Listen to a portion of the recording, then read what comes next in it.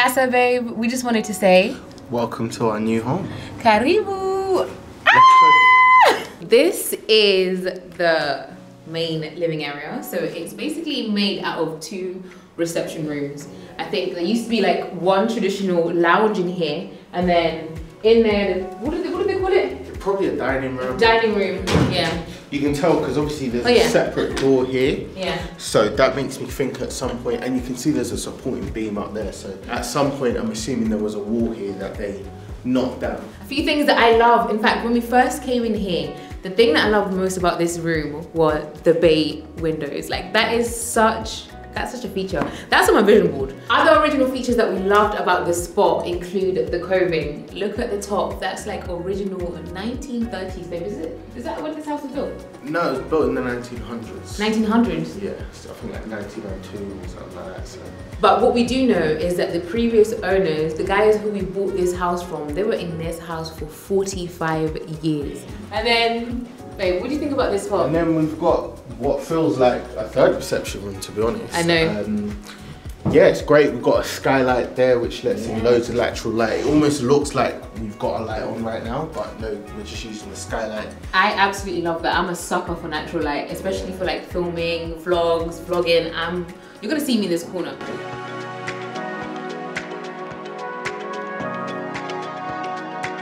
So the area actually looked a lot smaller, but the first thing that occurred to us was there's a kitchen right behind, there's an island here, there's a wall here. It's a huge kitchen, huge, huge kitchen. So it kind of feels like at some point this just feels like it needs to be It needs to be opened kitchen, up. Like I think Dining room. Yeah. I mean, I'm not trying to get too much into the reno, but just Look at this card. May you enjoy this home as much as we have over the last 45 years. Every happiness. And this is the card that we received when we came in here. It's even funny, you can tell like from the washing machine and the dishwasher that these lot bought these things in the 60s, 70s and just kept them here. But here we have our garage, um, which, uh, yeah, it's a really good space. It's a very, very big space. In here, I'm thinking like a gym. That's literally what I have in my mind. I can see myself putting a treadmill in here, maybe some mirrors, maybe, I, I don't know, put some flooring. But at the moment, it's just a really nice big space. And of course, like in the super long term, maybe we're thinking about maybe like converting this into like its own little self-contained unit. This section and that other little section that comes off the kitchen, if you join that together, that can be a literal self-contained unit. But also, it could be an additional bedroom. And a who knows why there's a toilet in the garage. I could never. But you know what's so to- funny is that it's actually a functioning Yeah, it's toilet. functioning toilet. Like it's a fully functioning toilet. So if you guys see me using this, don't mind that.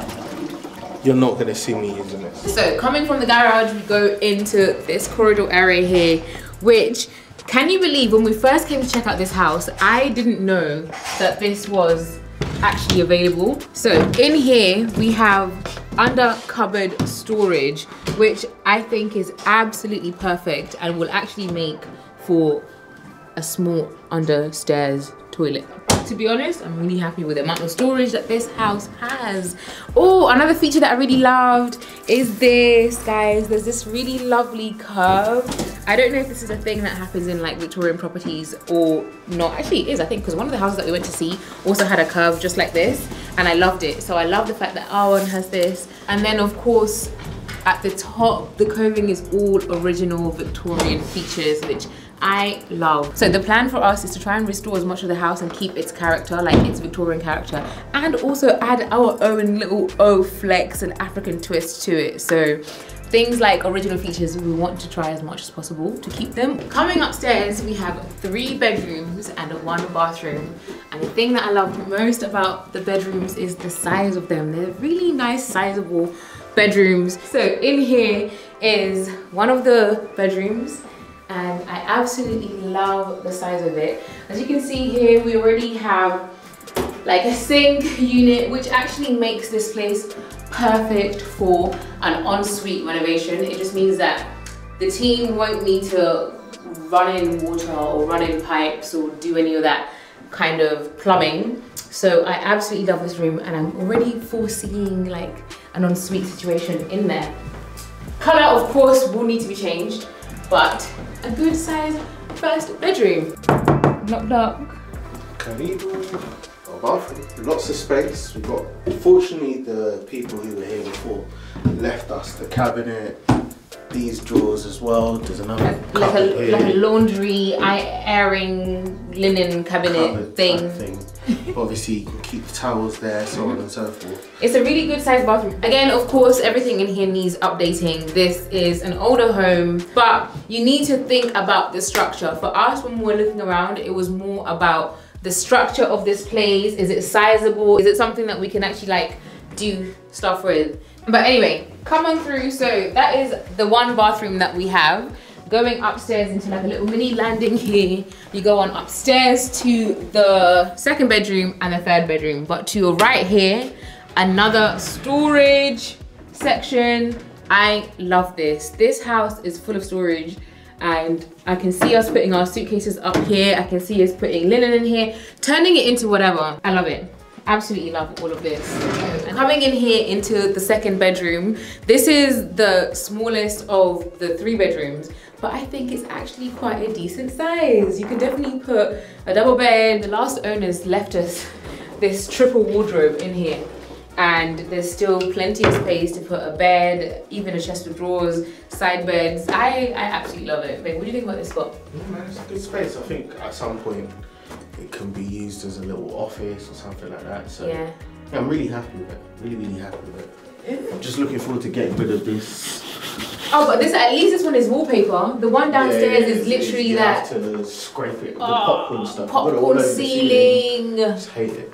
And then we've got the main room here. This is the primary bedroom in here, which I think is also of a decent size because we have a five piece wardrobe on that side as well as this storage space in here. And there's still all this like space here for a bed. So so another feature that I absolutely love guys look. Underneath this we have original floorboards which I am hoping that we'll be able to sa- resand, restain, and just basically restore. As much as possible, we want to restore original features and keep this gorgeous home looking as gorgeous as it actually is. It's just, I love it. I absolutely love it. Like the vision is so clear. So remember during the process of buying this place during the house buying series, we said that there was a whole mess up that happened. They knocked out the chimney breast. Whenever you knock out a chimney breast, you're supposed to reinforce it with steel. It looks like somehow or another they didn't actually reinforce it. So they had like a big log of wood holding up the chimney, which of course when the surveyor came was like mm, It's red flag structurally unsound. structurally unsound so yeah, the whole thing was just a whole bunch of headache. But eventually, we ended up getting a builder in, or they got a builder in. They sorted it all out.